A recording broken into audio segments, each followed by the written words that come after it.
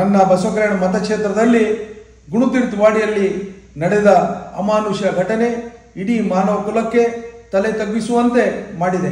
ಕುಮಾರಿ ಭಾಗ್ಯಶ್ರೀ ಅವರನ್ನು ಅಪಹರಿಸಿ ಹತ್ಯೆ ಮಾಡಿರುವ ವಿಕೃತರಿಗೆ ಕಠಿಣ ಶಿಕ್ಷೆ ಆಗಲೇಬೇಕು. ಈ ಘಟನೆ ಸಂಬಂಧಿಸಿದಂತೆ ಪೊಲೀಸ್ ಅಧಿಕಾರಿಗಳಿಗೆ ಅಪರಾಧಿಗೆ ಕಠಿಣ ಕ್ರಮ ಕೈಗೊಳ್ಳಬೇಕಾಗಿ ಆಗ್ರಹಿಸಲಾಗಿದೆ.